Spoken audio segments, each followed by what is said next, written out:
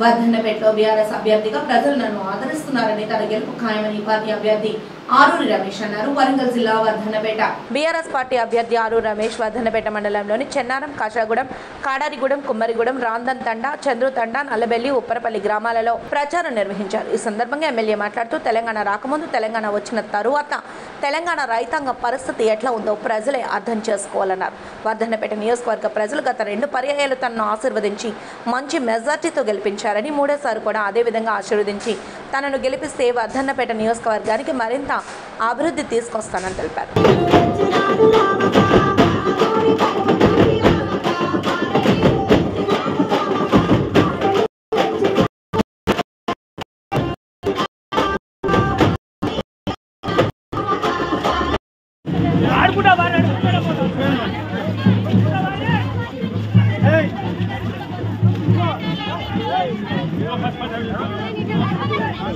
Thank you.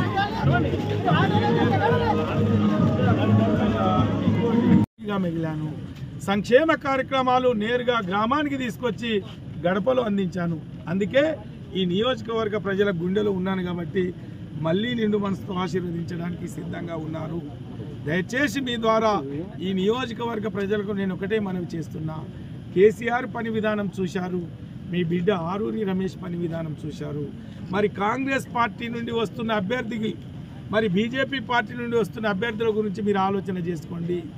మరి ఒక police ఉద్యోగంలో చేసి మరి ఈ ప్రాంతంలో భయభ్రాంతులు సృష్టించి అమాయకుల్ని పొట్టన పెట్టుకొని అనేక ఎన్కౌంటర్లో ఇబ్బంది పడ్డ పరిస్థితి అందరికీ తెలుసు.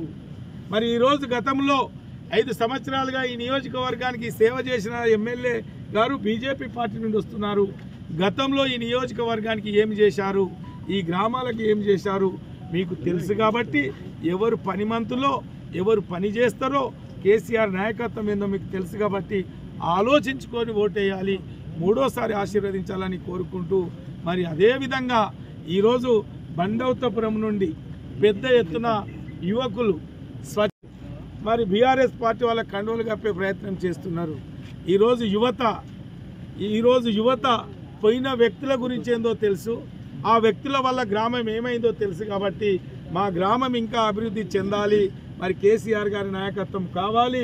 మేము ఆరూరి వెంట ఉంటామని వచ్చిన వారందరూ కూడా నేను స్వాగతం సుస్వాగతం పలుకుతూ మనస్ఫూర్తిగా వాళ్ళని ఆహ్వా